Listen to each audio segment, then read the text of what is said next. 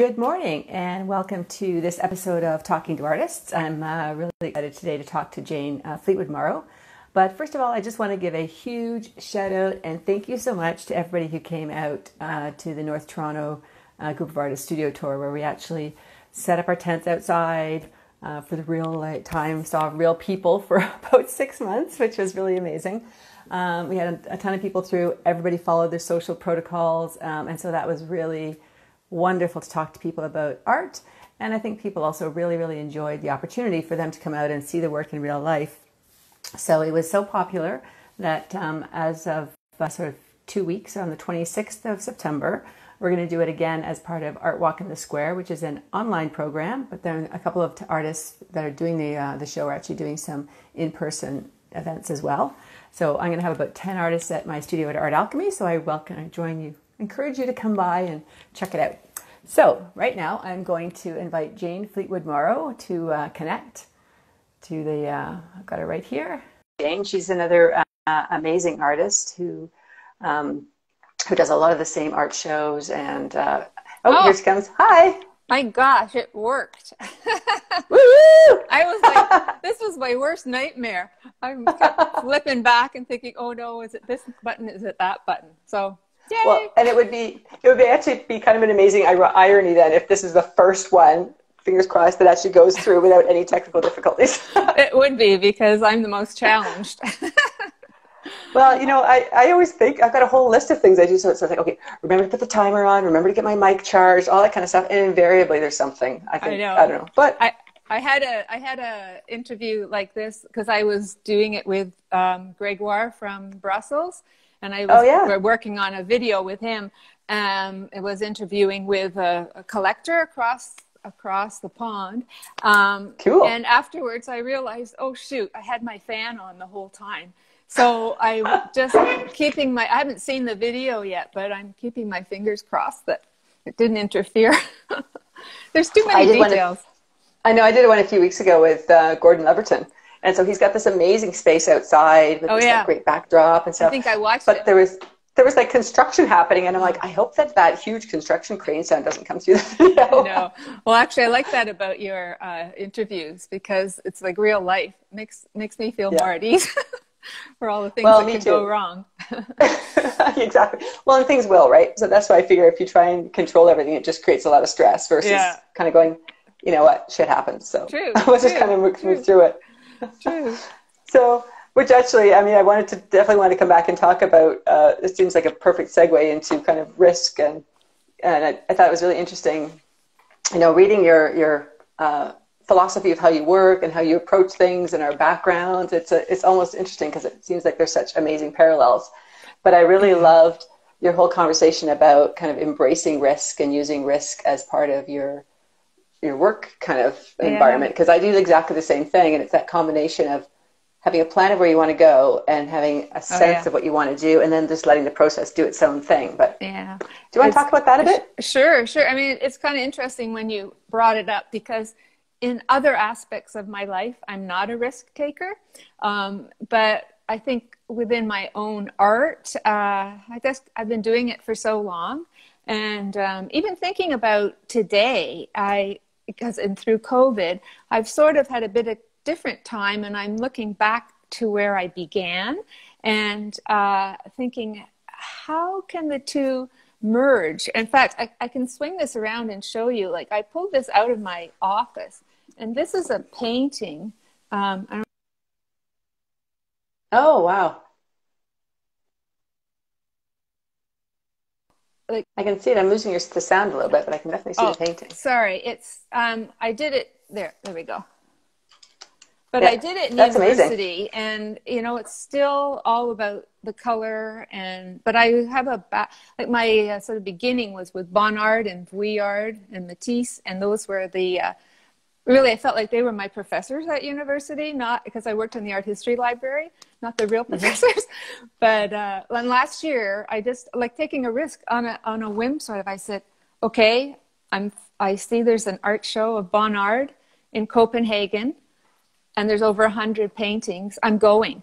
So I went all by myself, and I went for a week, and I you know, went to the show, and then by the end of the week, I figured out the show, and I got in there at the, uh, went to the end, and I watched, was sort of walking around for half an hour on my own, and um, so I think I'm bringing coming back a little bit to that beginning, but yeah, you know, you start working, and then things start happening, and I think I was like that in my like I had a long career of being an art educator, and uh, that was my philosophy with my students. I my last sort of gig was I was at Crescent Boys School. I was the lower school art teacher there for 20 years, mm-hmm. and and always it was like I'd have a plan, and then we'll see what happens. And then if some kids came up with an idea, then I'd say, okay, this is now called the Billy Project, and let's go with your direction. But not like like oh, do whatever you want. There there had to be like a sense of where we were going, but with flexibility. Yeah, I, I well, do like that. Yeah, it's like it's like we started saying uh, with our, our creative adventures event. It's about embracing serendipity. So yeah. you can't you can't totally have no sense of where you're going. Exactly. But if something interesting along the way journey comes in, then yeah. you kind of yeah. you don't kind of so stay so focused on your end journey, right? Yeah, like the happy accidents are the best. Absolutely. I mean, you know, exactly. You think, you think about like I've been painting for years now, and color is my thing. In fact, at university, but like it's kind of ironic. I went to Queens. You think of it as a really traditional school. Our professors were like way out there. I don't even think they taught us anything. But what we had was time. So um, yeah. a lot of my so when I started teaching, I started to learn all about color theory. But my introduction to painting was intuitive. Uh, and I kind of rely on both now. But even now, like I'm still, even like with these color colorscapes behind me, like there's layers and layers of color. And sometimes I think, oh, I know what's going to happen. and then totally is not what's going to happen. And you have to decide, do you want to go that way or try and pull it back in or, um, yeah, it's, it's funny because I actually um, got into Queens for fine arts. Oh yeah. And I, and I did, yeah. And I didn't go because at that time it was all about, um, like, um, like Motherwell and very, very um, abstract, but very kind of totally. cutting edge abstract, that right? And I'm like, yeah, there. no, I'm just not an abstract artist. Yeah. I don't like abstract. so I ended up going to Western, which also had a really, um, it was a, the same thing, these long six hour studios where you had a lot of time to play. Yeah. And just funny story because I just did this um, in person show and someone was reading my bio and she's like, Oh, you went to Western as well. I said, Yeah. And she said, Well, how did you find Paterson Ewen as painting teacher? And I paused, right? And she goes, yeah. What did you think? And I'm like, Well, he was a really crappy teacher. Like, he might have been a great artist, yeah. but he was a crappy teacher. He had no idea how to actually teach people. So I basically went through school saying, Yeah, I didn't really learn how to paint because. Yeah. I know, it's, really, it's kind of interesting. Or, or, but, but then what happened with me is like, I guess it was third year, they kind of left you alone. And I w- went into this, um, we had a room uh, where y- they grew plants. And I went in, I don't know why, I did this still life painting. Everything up to then was like, they, they didn't like anything realistic in that, nothing. Mm-hmm. Uh, and so that's why a lot of the students left. But uh, they kind of, one teacher came in, professor, actually, I did love him. And, and it was this uh, really, really dark. I still have it. It's quite interesting to see it um, still life. But he said, oh, you keep going with that. And then they ignored me. Like they just kept ignoring me and ignoring me. And then my I ended up doing really well. And I think I was I was one of the ones that broke away from that. But it was Bonnard and Vuillard. They were like my mm-hmm. uh, my gurus, and uh, and I learned about color and painting by myself. well, and I, think you're right. Like you, have the opportunity to play. I had a really great teacher who um, he was a um, he was a printmaker, but he used to make his own paper. He was really into paper making, and he oh, developed this paper maker.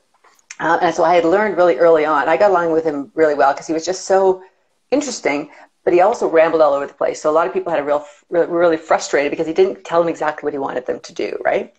But I learned that you had to make sure you didn't really wear anything that was really something you valued because if you were doing paper making, he'd literally look at your t-shirt and kind of go, that would make great paper. Yeah. Like, can I just cut a little piece out of the bottom? And you're like, well, I'm kind of wearing it.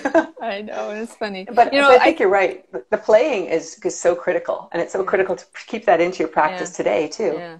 I think really it was um, so great to have four years of trying all these things and and putting the time to it so that by the time i by the time i left I think they did a good job in making us feel like we didn't need anybody anymore.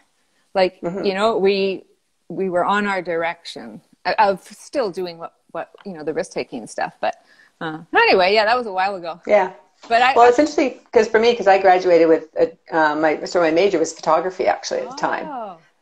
Um, and so it played a lot in the dark room, and I love that again that sort of serendipity of you don't know oh, exactly always what yeah. what you're going to get. And then when photography became digital, for me, I just wasn't as interested, and it took me wow. years to figure out it's because with digital photography you eliminate the risk. You can try something, oh, and you can control edit, right? Yeah. You don't actually have to commit the same way. So I know we were going to talk about something else. Did you realize, you know, um, the book that I'm doing with my dad, that's yeah. about the war stuff, and uh, it's about all his paintings that he did. But did you realize he was in the photography reconnaissance unit? Um, he was a no, professional. Yeah, he was a professional photographer, and I actually grew up with the darkroom, and I hated doing photography at university. but uh, yeah, it's been a fascinating journey with this book because um, learning about what what these guys there were 12 of them i think in his in his um, wing. And they trout they developed all the um, photos like they were the eyes of the of the army. So they were developing all along the route um, fall just behind the front. So yeah so i grew up with a in that photography wow. environment. And that that led to a trip to was it bruges? Were you in bruges?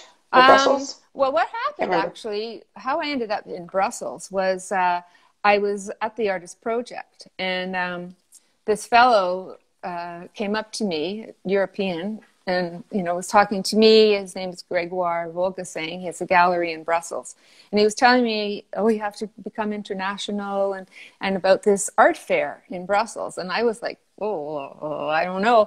But there was another artist at the artist project who I'd gotten to know, and he had done the art fair with Gregoire. So he reinforced it was all real. It was actually a really neat, neat concept because it's was kind of a marriage between an art fair and a high-end gallery opening. So you had black tie dinners, and you'd he'd bring in the collectors, and it was really. I mean, even Frank Stella was in this show. Like it was really an interesting experience. But um, wow. the reason, the other reason that I sort of said, okay, I'm going to do this, is because it was just at the beginning of uh, exploring the book on my dad, and we wanted to go to that part of the world. One reason to um, retrace because I have his route and everything, so we wanted to retrace the route and mm-hmm. find areas that he took pictures of. But also in Bruges, my mom and dad met in Bruges, so it was a it was a trip we were already planning, and it just uh, you know it just I, I'm sort of at a point now like I did the long haul of the art educator and all those years and I have two kids and and I'm sort of at this point now where I'm just looking at opportunities, and if they present themselves, I'm not going to. I'm trying not to be timid. I'm trying to go ahead and do it. So by going, say yes, right? Yeah, that, yeah. That's, like that's the philosophy I try to teach my kids. It. Say yes. Yeah, yeah try it. try it. what what am I going to lose? And there were so many so many great things from from this, and you meet other people. And then I met this other woman, and she had a connection to a gallery, quite an established gallery in Paris and so I had mm-hmm. sold painting in Brussels, but then what do I do with these others? Because I'd have to bring them back. And she said, Well, I'd like to take them. First of all, she wanted to have a show with this other person from the Brussels show in Paris. I thought, Oh, okay, that sounds good. And that solves my problem because I don't have to get the art back. but then that show fell apart, but she had this connection to this very established galleries in Paris. So she passed me work on there. So then I uh, like I thought, okay, this is amazing. I'm with this gallery, so I, um, we did a trip, the second trip for my dad's book, and we went to Paris and went to the gallery, but they'd sold the painting, so it was like really exciting. And this was never in a plan, right? It was never in a plan. So right now I'm yeah. doing the video, this video promotion um, with Gregoire again, where uh, um, you know he's i don't have i'm like i'm not good at that stuff that he's making the video. And also right now uh, i saw him uh, he uh, posted today but it's in french. Um, he's organized a show in brussels that my work will be part of